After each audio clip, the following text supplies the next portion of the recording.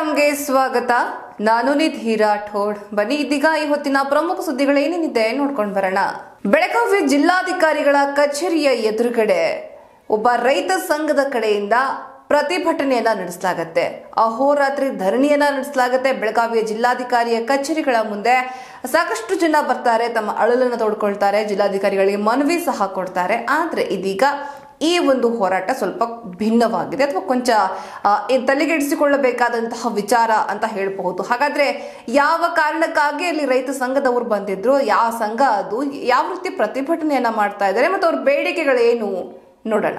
ಕರ್ನಾಟಕ ರಾಜ್ಯ ರೈತ ಸಂಘದ ವತಿಯಿಂದ ಇಂದು ಅಹೋರಾತ್ರಿ ಧರಣಿಯನ್ನ ಹಮ್ಮಿಕೊಳ್ಳಲಾಗಿದೆ. ಎರಡು ದಿನಗಳಿಂದ ಜಿಲ್ಲಾಧಿಕಾರಿಗಳ ಕಚೇರಿಯ ಎದುರುಗಡೆ ಈ ಧರಣಿಯನ್ನ ಹಮ್ಮಿಕೊಳ್ಳಲಾಗಿದೆ. ಕಳಸಾ ಬಂಡೂರಿ ಯೋಜನೆ ಅಡಿ ನಮಗೆ ನೀರು ಕೊಡಿ ಅಥವಾ ವಿಷ ಕೊಡಿ ಅನ್ನುವಂತಹ ಮಾತನ್ನ ರೈತ ಸಂಘದ ಮುಖಂಡರು ಹೇಳ್ತಾ ಇದ್ದಾರೆ. ಕಳಸಾ ಬಂಡೂರಿ ಯೋಜನೆಯನ್ನ ಅನುಷ್ಠಾನಗೊಳಿಸಬೇಕು ಇಲ್ಲವಾದಲ್ಲಿ ನಮಗೆ ವಿಷವನ್ನ ಕೊಡಿ ಅಂತ ಹೇಳಿ ಅವರೆಲ್ಲರೂ ಕೂಡ ಆಗ್ರಹ ಪಡಿಸ್ತಾ ಇದ್ದಾರೆ. ಕಳಸಾ ಬಂಡೂರಿ ಯೋಜನೆಗೆ ಸಾಕಷ್ಟು ದಿನಗಳಿಂದ ಬೇಡಿಕೆ ಇಡ್ತಾನೆ ಬಂದಿದ್ದಾರೆ.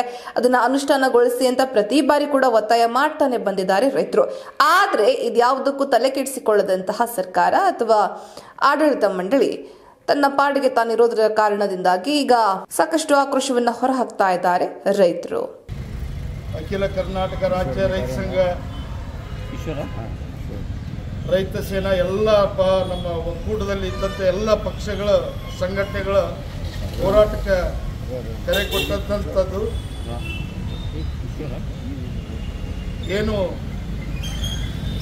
ನಲವತ್ತು ಐವತ್ತು ವರ್ಷಗಳಿಂದ ಮಹದಾಯಿ ನದಿ, ಕಳಸಾ ಬಂಡೂರಿ ಕಾರ್ಯಗತ ಆಗದೇನೆ ಮೀನಾವೇಶ ಎನಿಸುವಂತ ರಾಜ್ಯ ಮತ್ತು ಕೇಂದ್ರ ಸರ್ಕಾರಗಳು ರೈತರ ಕಡೆ ಒಂದು ಕಿಂಚಿತ್ತು ಗಮನ ಕೊಡ್ತಾ ಇಲ್ಲ. ಒಂದು ಕಡೆ ಅತಿವೃಷ್ಟಿ, ಒಂದು ಕಡೆ ಅನಾವೃಷ್ಟಿ.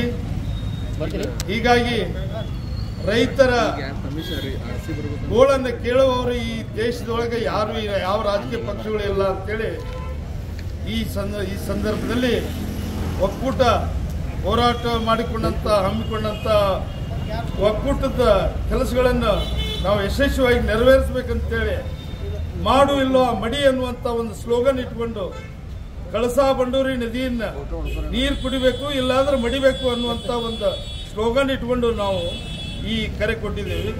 ಇದು ಅಹೋರಾತ್ರಿ ಧರಣಿ ಸತ್ಯಾಗ್ರಹ. ಇದಕ್ಕೆ ಟೈಮ್ ಇಲ್ಲ. ಅವ್ರ ಕೆಲಸ ಮಾಡಿಕೊಡು ಮಟ್ಟ ನಾವು ಹೇಳುವಲ್ಲ ಹೇಳುವಂಗಿಲ್ಲ ಅಂತೇಳಿ ಒಂದು ತೀರ್ಮಾನ ಮಾಡಿದ್ದೀವಿ. ನಾವು ಯಾವುದೇ ಇದಕ್ಕೆ ಜಗ್ಗುದಿಲ್ಲ. ಅದಕ್ಕೆ ನಮ್ಮ ನಾಯಕರು ಬಹಳ ಮಾತಾಡೋದಾರ ನಾಡಿನಾದ್ಯಂತ ಇಂದು ಕೃಷ್ಣ ಜನ್ಮಾಷ್ಟಮಿಯ ಸಂಭ್ರಮವಿದೆ. ಈ ಕೃಷ್ಣ ಜನ್ಮಾಷ್ಟಮಿ ಅಂತ ಅಂದ್ರೆ ಕೇವಲ ಹಿಂದೂಗಳಿಗೆ ಮಾತ್ರ ಸೀಮಿತವಲ್ಲ, ಕೃಷ್ಣ ಎಲ್ಲರಿಗೂ ಪ್ರಿಯ ಅನ್ನುವಂಥದ್ದನ್ನ ಇಲ್ಲೊಬ್ಬ ವ್ಯಕ್ತಿ ಸಾಬೀತುಪಡಿಸಿದ್ದಾನೆ. ಮುಸ್ಲಿಂ ಆಗಿದ್ದರೂ ಕೂಡ ಈ ವ್ಯಕ್ತಿಗೆ ಕೃಷ್ಣ ಅಂದ್ರೆ ಬಹಳ ಬಹಳ ಪ್ರೀತಿಯಂತೆ. ಅದು ಯಾವ ಕಾರಣಕ್ಕೆ? ಅವರು ಕೃಷ್ಣಾರಾಧನೆ ಮಾಡೋದು ಯಾಕೆ? ಹೇಳ್ತೀವಿ ನೋಡಿ. ಮುಸ್ಲಿಂ ಆಗಿದ್ದರೂ ಕೂಡ ಈತ ಶ್ರೀಕೃಷ್ಣನ ಭಕ್ತ. ಬೆಳಗಾವಿ ಜಿಲ್ಲೆಯ ಕಾಗವಾಡ ತಾಲೂಕಿನ ಉಗಾರ ಖುರ್ದ್ ಗ್ರಾಮದ ಕೃಷಿಕ ಮೂಲತಃ ಕೃಷ್ಣ ಪಾರಿಜಾತ ಮಾಡಿಕೊಂಡು ಬಂದಿದ್ದರಿಂದ ಕೃಷ್ಣನ ಮೇಲೆ ಭಕ್ತಿ ಜಾಸ್ತಿ. ಈ ವ್ಯಕ್ತಿಯ ಹೆಸರು ಬಾಪು ಶೌಕತ್ ತಾಸೆವಾಲೆ ಅಂತ. ಈತ ಚಿಕ್ಕ ವಯಸ್ಸಿನಿಂದಲೂ ಕೂಡ ಕೃಷ್ಣ ಪಾರಿಜಾತ ಮಾಡಿಕೊಂಡು ಬಂದಿರುವ ಕಾರಣದಿಂದಾಗಿ ಕೃಷ್ಣ ಅಂತ ಅಂದ್ರೆ ವಿಶೇಷ ಭಕ್ತಿಯಂತೆ. ಹಾಗಾಗಿ ಕೃಷ್ಣ ಜನ್ಮಾಷ್ಟಮಿ ಎಂದು ಉಳಿದ ಹಿಂದೂ ಬಾಂಧವರಂತೆ ಇವರು ಕೂಡ ಸಂಭ್ರಮಿಸ್ತಾ ಇದ್ದಾರೆ.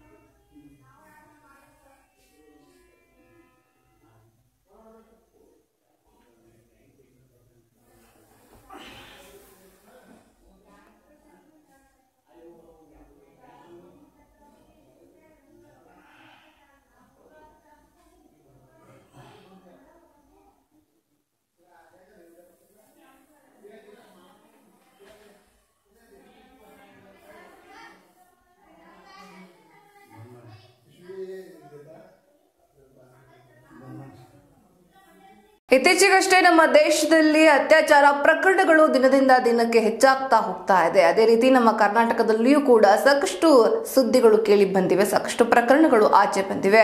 ಅದರಲ್ಲಿ ಪ್ರಮುಖವಾಗಿ ಸದ್ದು ಮಾಡಿದ್ದು ಉಡುಪಿ ಜಿಲ್ಲೆಯ ಕಾರ್ಕಳದಲ್ಲಿ ನಡೆದಂತಹ ಒಂದು ಹಿಂದೂ ಯುವತಿಯ ಮೇಲೆ ನಡೆದಂತಹ ಅತ್ಯಾಚಾರ. ಅಲ್ತಾಫ್ ಮತ್ತು ಆತನ ಸಂಗಡಿಗರು ಮೂವರು ಸೇರಿ ಆಕೆಯ ಮೇಲೆ ಸಾಮೂಹಿಕ ಅತ್ಯಾಚಾರವನ್ನ ಎಸಗಿರ್ತಾರೆ. ಇನ್ನು ಈ ಒಂದು ಪ್ರಕರಣಕ್ಕೆ ಸಂಬಂಧಪಟ್ಟ ಹಾಗೆ ಪ್ರಮೋದ್ ಮುತಾಲಿಕ್ ರವರು ಮಾತನಾಡಿದ್ದಾರೆ. ಬನ್ನಿ ಏನ್ ಹೇಳ್ತಾ ಇದ್ದಾರೆ ನೋಡೋಣ.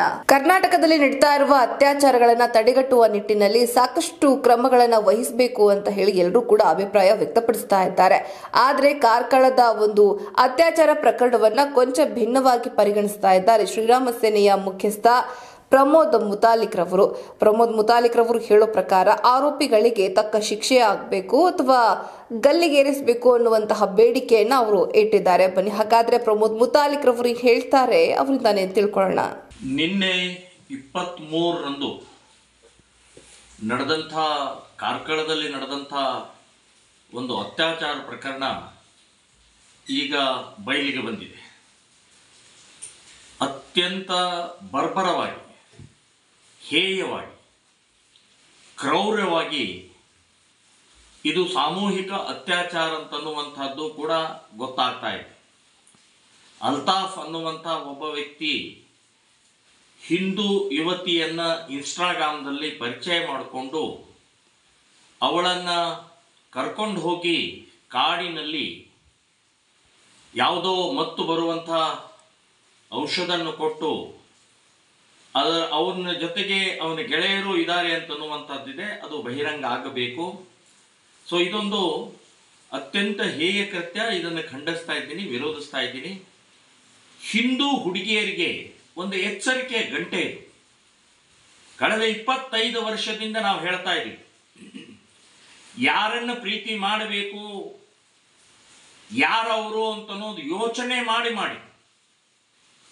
ಇಲ್ಲಿವರೆಗೆ ಆದಂತಹ ಘಟನೆಗಳು ನಿಮ್ಮ ಇನ್ನೂ ಕಣ್ಣು ತೆರೆದಿಲ್ಲ, ಕಣ್ಣು ತೆರೆಸ್ತಾ ಇಲ್ಲ ಅಂತಂದ್ರೆ ಏನು ಏನು ಹೇಳೋದು ಇದಕ್ಕೆ? ಒಬ್ಬ ಅಲ್ತಾಫ್ ಇದ್ದಾನೆ ಇನ್ಸ್ಟಾಗ್ರಾಮ್ದಲ್ಲಿ ಗೊತ್ತಾದ ತಕ್ಷಣನೇ ಅವನು ಅಲ್ತಾಫ್ ಇದ್ದಾನೆ ಅಂತಂದ್ರೆ ಅವನು ರೇಪ್ ಮಾಡಕ್ಕೆ, ಕೊಲೆ ಮಾಡಕ್ಕೆ, ಅವನ ಅದಕ್ಕೋಸ್ಕರನೇ ನಿಮ್ಮ ಪರಿಚಯ ಮಾಡ್ಕೊಂಡಿದ್ದಾನೆ ಅಂತ ಅನ್ನುವಂಥದ್ದು ಕೂಡ ಇಲ್ಲಿವರೆಗೆ ನಡೆ- ನಡೆದಂತ ಘಟನೆಗಳ ನೇಹ ಪ್ರಕರಣ. ಇಪ್ಪತ್ತ್ ಮೂರು ಬಾರಿ ಚಾಕು ಹಾಕಿದಾನು ಸೊ ಇವರಿಗೆ ಪ್ರೀತಿ, ಪ್ರೇಮ ಅಲ್ಲ ಇವರಿಗೆ. ಇದೊಂದು ಜಿಹಾದ್ ಇದು. ಸೊ ಹಿಂದೂ ಹೆಣ್ಣು ಮಕ್ಕಳನ್ನ ವ್ಯವಸ್ಥಿತವಾಗಿ ಪ್ರೀತಿ, ಪ್ರೇಮದ ಹೆಸರಿನಲ್ಲಿ ಸಿಕ್ಕಾಕ್ಸಿ ಮತಾಂತರ ಮಾಡುವಂತಹದ್ದು, ಮಕ್ಕಳನ್ನು ಹಡಿಯುವಂಥದ್ದು ಕೊಲೆ ಮಾಡುವಂಥದ್ದು ಭಯೋತ್ಪಾದನೆಗೆ ಉಪಯೋಗಿಸುವಂಥದ್ದು ಇದು ಇಸ್ಲಾಮಿನ ಕೃತ್ಯ ಅಂತನ್ನುವಂಥದ್ದು ಹೊರಗೆ ಬಂದಿದೆ. ಬಹಿರಂಗ ಆಗಿದೆ. ಕೋರ್ಟಿಗೆ ಹೋಗಿದೆ. ಸುಪ್ರೀಂ ಕೋರ್ಟ್ ಹೇಳಿದೆ. ಎರಡು ರಾಜ್ಯ ಇವತ್ತು ಕಾನೂನುಗಳನ್ನು ಮಾಡಿದ್ದಾರೆ ಸೊ, ಇಷ್ಟಾದರೂ ಕೂಡ ಹಿಂದೂ ಹುಡುಗಿಯರಿಗೆ ಇನ್ನೂ ಬುದ್ಧಿ ಬಂದಿಲ್ಲ ಅಂತಂದರೆ ಇನ್ನೇನು ಹೇಳೋದು? ಇನ್ನಾದರೂ ಪಾಠ ಕಲೀರಿ, ಇನ್ನಾದರೂ ಯೋಚನೆ ಮಾಡಿ, ಪಾಶ್ಚಾತ್ತಾಪ ಪಡೋಕ್ಕಿಂತ ಮುಂಚೆ ಯಾರು ಏನು ಅಂತನ್ನುವಂಥದ್ದು ಗಂಭೀರವಾಗಿ ಯೋಚನೆ ಮಾಡಬೇಕು ಅಂತನ್ನುವಂಥದ್ದು ಹಿಂದೂ ಹುಡುಗಿಯರಿಗೆ ಎಚ್ಚರಿಕೆ ಕೊಡ್ತಾ ಇದ್ದೀನಿ. ಇನ್ನು ಎರಡನೇದು, ಇಸ್ಲಾಂ ಇವತ್ತು ಈ ರೀತಿಯ ಪ್ರಕ್ರಿಯೆ ಮಾಡ್ತಾ ಇರುವಂಥದ್ದಕ್ಕೆ ನಾನು ಧಿಕ್ಕಾರ ಹೇಳ್ತಾ ಇದ್ದೀನಿ. ಸೊ, ಇದನ್ನು ಇದನ್ನು ತಡಿಬೇಕು. ಮುಲ್ಲಾ ಮೌಲ್ವಿಗಳಾಗ್ಲಿ ಮುಸ್ಲಿಂ ಮುಖಂಡರಾಗ್ಲಿ, ಇದನ್ನ ಕೂಡಲೇ ಈ ರೀತಿಯ ಪ್ರಕ್ರಿಯೆ ಆಗುವಂತಹದನ್ನ ತಡಿಬೇಕು. ಸೊ ಇದು ಅತಿಯಾಗಿ ಆಗ್ತಾ ಇದೆ ಅಂತನ್ನುವಂಥದ್ದು ಕಾಣಿಸ್ತಾ ಇದೆ. ಕರ್ನಾಟಕದಲ್ಲಿ ವಿಶೇಷವಾಗಿ ಒಂದೇ ವಾರದಲ್ಲಿ ಹದಿನೆಂಟು ಘಟನೆಗಳಾಗಿದ್ದಾವೆ. ಸೊ ಇದು ಭಯಾನಕವಾಗಿ ತಿರುಗ್ತಾ ಇದೆ. ಇದನ್ನ ನಾನು ಹೇಳೋದು ಪೊಲೀಸ್ ಡಿಪಾರ್ಟ್ಮೆಂಟ್ ಮುಚ್ಚಾಕುವಂತ ಪ್ರಯತ್ನವನ್ನು ಮಾಡಬೇಡಿ. ಅಥವಾ ಮೇಲಿನವರು ಯಾವುದೋ ಸರ್ಕಾರದ ಗೃಹ ಮಂತ್ರಿ ಅಥವಾ ಮುಖ್ಯಮಂತ್ರಿ ಒತ್ತಡದಿಂದ ನೀವು ಮುಚ್ಚಾಕುವಂತ ಪ್ರಯತ್ನವನ್ನ ಮಾಡಬೇಡಿ. ಸೊ ನ್ಯಾಯ ಆ ಮ, ಆ ಮಗಳಿಗೆ ನ್ಯಾಯ, ಆ ಸ್ತ್ರೀಗೆ ನ್ಯಾಯ ಇದು ಹುಡುಗಿಗೆ ಸಿಗಬೇಕು ಅಂತನ್ನುವಂಥದ್ದು ನಾನು ಹೇಳ್ತಾ ಇದ್ದೀನಿ. ಸೊ ಈ ಸಂದರ್ಭದಲ್ಲಿ ಹಿಂದೂ ಸಂಘಟನೆಗಳು ಬರೀ ಪ್ರತಿಭಟನೆ ಮಾಡಿದರೆ ಸಾಲೋದಿಲ್ಲ ಕಾರ್ಕಳದ ಮುಸ್ಲಿಮರಿಗೆ ವ್ಯಾಪಾರ ವ್ಯವಹಾರದಲ್ಲಿ ಬಹಿಷ್ಕಾರ ಹಾಕಿ, ಎಲ್ಲಿವರೆಗೆ ಆ ಅತ್ಯಾಚಾರಿಗಳ ಮನೆಗೆ ಬಹಿಷ್ಕಾರ ಹಾಕೋದಿಲ್ವೋ ಅತ್ಯಾಚಾರ ಮನೆಗಳನ್ನು ನೀವು ಶಿಕ್ಷೆಗೊಳಪಡಿಸುವುದಿಲ್ವೋ ಅಲ್ಲಿವರೆಗೆ ಮುಸ್ಲಿಮರ ಜೊತೆಗೆ ವ್ಯಾಪಾರ ವ್ಯವಹಾರವನ್ನ ಮಾಡಬೇಡಿ ಅಂತನ್ನುವಂಥದ್ದು, ಡಿಕ್ಲೇರ್ ಮಾಡಬೇಕು ಹಿಂದೂ ಸಂಘಟನೆಗಳು ಅಂತನ್ನುವಂಥದ್ದು ನಾನು ಹೇಳ್ತಾ ಇದ್ದೀನಿ. ಇದರ ಜೊತೆಗೆ ಕೋರ್ಟು ಕೂಡ ಬಹಳ ಗಂಭೀರವಾಗಿ ತಗೊಂಡು ಕೂಡಲೇ ನಿರ್ಣಯವನ್ನು ತಗೊಂಡು ಅವನನ್ನ ಗಲ್ಲಿಗೇರಿಸಬೇಕು ಅಂತನ್ನುವಂಥದ್ದು ಹೇಳ್ತೀನಿ. ಕೋರ್ಟ್ ನ್ಯಾಯ ವಿಳಂಬದ ಪರಿಣಾಮದಿಂದನೇ ಮೇಲಿಂದ ಮೇಲೆ ರೇಪು, ಮೇಲಿಂದ ಮೇಲೆ ರೇಪ್ ಆಗ್ತಾ ಇರೋದೇ ಕೋರ್ಟು ಕೂಡ ಕಾರಣ, ಜವಾಬ್ದಾರಿ ಅಂತ ಅನ್ನುವಂಥದ್ದು ನಾನು ಹೇಳ್ತಾ ಇದ್ದೀನಿ. ಸೊ ಈ ಈ ಕೇಸ್ನಲ್ಲಿ ಕಾರ್ಕಳದ ಈ ಅಲ್ತಾಫನ ಅಥವಾ ಜೊತೆಗಿರುವಂತಹ ಆ ಗೆಳೆಯರ ಇದರಲ್ಲಿ ಯಾವ ವಕೀಲನೂ ಕೂಡ, ಯಾವ ಅಡ್ವೊಕೇಟ್ ಕೂಡ ವಕಾಲತ್ತನ್ನು ಮಾಡಬಾರದು.